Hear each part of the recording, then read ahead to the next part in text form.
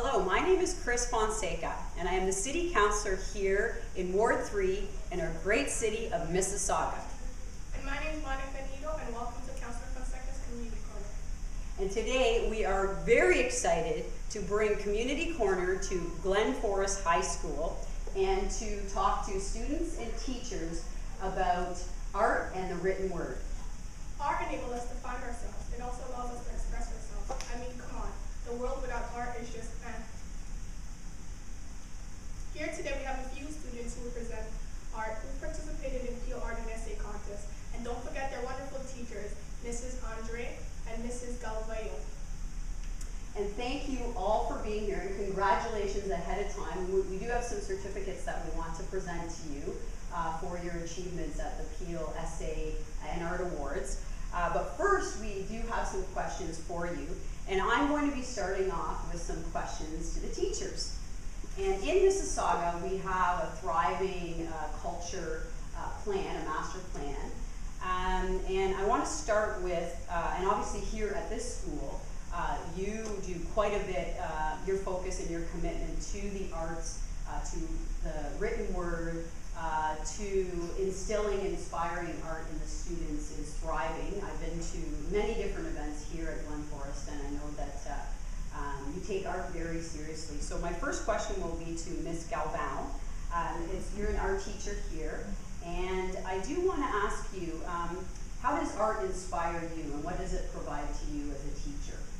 Uh, art inspires me to express myself and get my students to express themselves um, in a visual way throughout, without having to rely on language and rely instead on images and colors to uh, talk about things that they might not be able to express uh, through writing.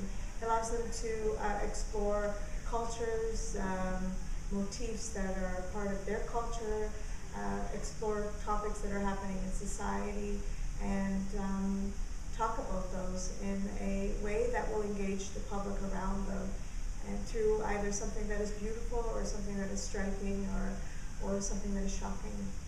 It's such a great way to express yourself uh, about your heritage, your roots, uh, your community.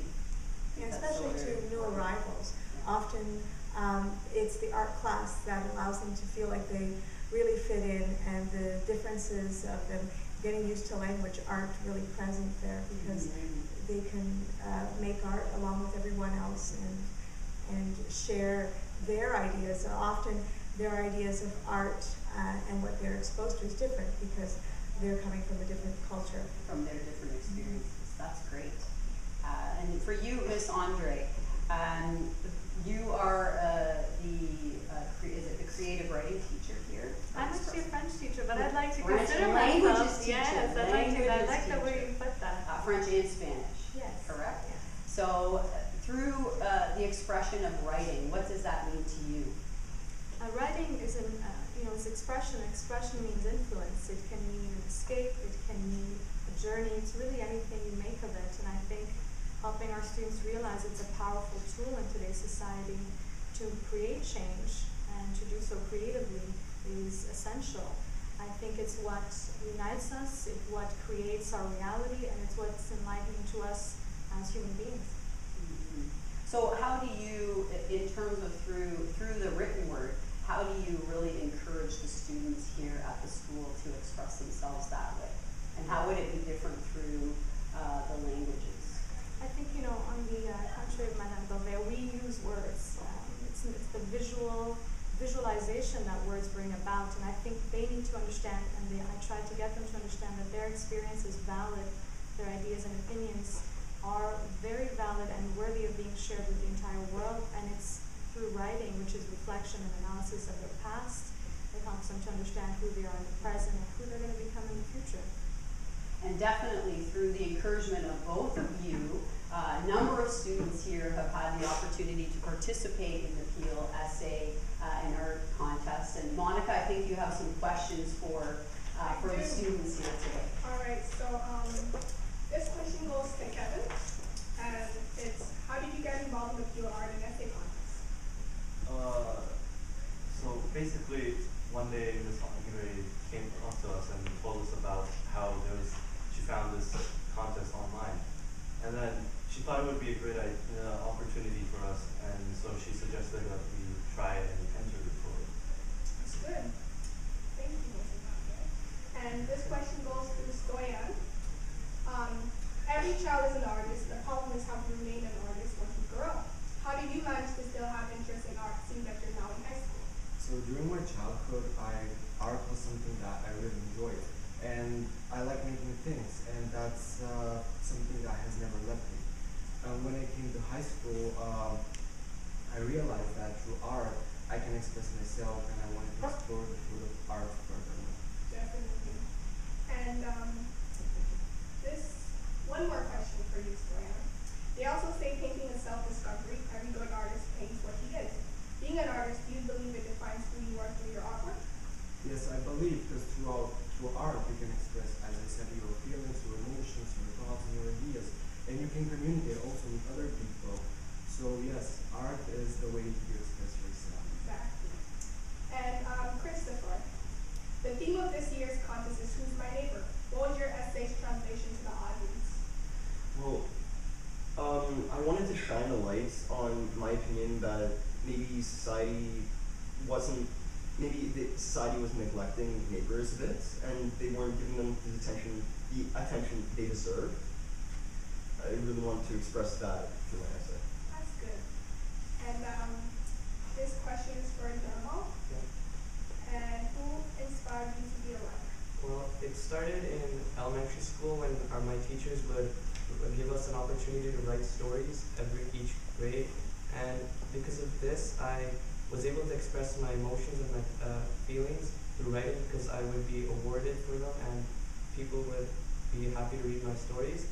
And also, Miss Andre is an inspiration for me too because she also made me realize that through my essay and my writing, I can not only express my feelings and emotions, but also my thoughts to my community. And um, this question is for Amar. Who is, who is your role model or mentor? Um, for the essay, For writing in general. for writing in general. Uh, well, for this essay in particular, I was, uh, I would believe that Miss Andre would be my mentor because she guided me throughout the essay from when we were just formulating ideas to when I had my rough drafts. She would look them over and tell me what I needed to improve on. So, uh, yeah, I would consider her to be my mentor. And um, this question is for Nandini. An artist can be described in so many different ways. Do you believe a musician or poet, poet is an artist, and if so, why? Yes, I do believe that they're an artist because they, I believe an artist is something that creates something from nothing, and that is exactly what they do, whether it's musically or written. They provide a different perspective on life through which um, other forms can't. Yeah, but and also um, because artists like when people when you say an artist, people think it's just drawing, people who drew like paintings. So that's why I asked the question, and I like your answer. Thank you. Um, this question is for Mara. Do you being a writer in the future? Honestly, no. I, I've always I've always loved words, but to me, the words I prefer are spoken words and speaking to people and making speeches and stuff like that. Um, Mademoiselle Andre, she taught me in French last year, and it was so much fun because we were always speaking and doing presentations and stuff. And that's really where I feel happiest is when I can speak and talk to people and make a difference that way. So I do love words. I also love to read. Writing is just not the form of words for me. Okay, that's good. And speaking of spoken words, I also do poetry and spoken words, so I can relate to that. And um, Linda, when did you first discover that you were into writing? Um, I first discovered that I was into writing at um, grade six because that's when I could really express myself and that's when I really started to like writing as a hobby rather than something um, school related. And also, I feel that Mrs. Um, Galveo is an inspiration too because for her to, her being an art teacher and Stoyan, who was came in third place for the art, you should also, like just like they were saying that Mrs. Andrea was their inspiration, I also believe that she could be an inspiration, which she is to Stoyan, as you were saying earlier. So yeah. And Mrs. Chris Fonseca. Well, thank you, Monica, and thanks to all of you. Uh, as you can see, um, art, culture in many different forms uh, plays a huge role in our community and also uh, through uh, in our education system. And I want to thank all of you, uh, to the teachers, for being such an inspiration, um, inspiring the students, uh, and encouraging them and challenging them to express themselves in so many different ways, in, in different uh, forms of art, whether it be spoken word, written word, um, visual art. Um, and I also encourage all of you to uh, seek out uh, what different opportunities through culture and arts we have in Mississauga because there are many of them. And you are leaders in that. And as I was saying at the start of the community corner, uh, our culture and our art is all because of what you make it. Uh, it's intermixed into our history and heritage and into our community. So I would like to present all of you with a certificate uh, to the students and the teachers. Uh, they, the, the students and the teachers were presented awards at the Peel Art and Essay uh, Contest. I guess it was about a month ago now. But as the counselor here in Ward 3, and on behalf of the City of Mississauga, I'd like to present these to you. So I will just bring them to you. This one is to Stoyan Barakov.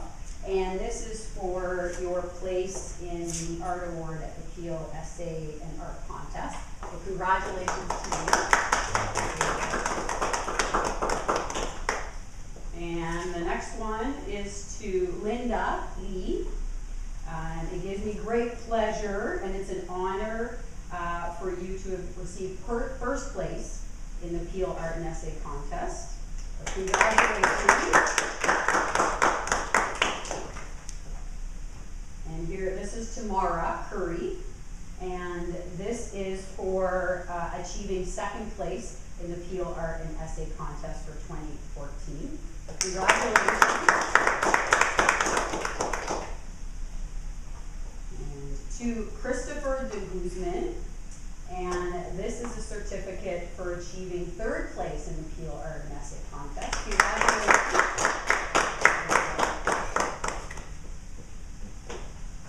And to Nandini Bansal, this is a certificate for being one of the finalists in the Peel Art and Essay Contest.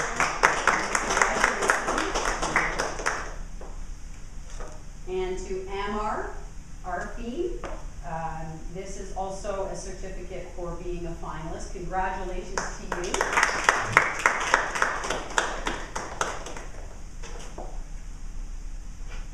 And to Kevin Hay, uh, also a certificate for being one of the finalists in the Peel Art and Essay Contest. You're such a big group. It's wonderful. And also to Nirmal Pol for being a finalist in the Peel Art and Essay Contest. Congratulations to all of you. And to the teachers as well. I want to thank you again for being such an inspiration. Uh, to Miela Andre, this is a certificate for you. Thank you so much. Keep inspiring through French, through Spanish, and through the written word and any other way, spoken word. And to Maribel Almeida Galvan, congratulations. And thank you, and congratulations to all the students, and may you continue to inspire myself and all of us through, through the written word, through spoken word, and through any other art form you see fit. Uh, before we wrap this up, um, we would like to give a big thank you to Intercultural Dialogue Institute, who's a nonprofit organization which allows young people to come together and make a difference in our community and our city. And those who support and sponsor IDI, we also thank you. And once again, thank you all for being here. And it's been a pleasure speaking to all of you guys. Stay tuned for our next community corner.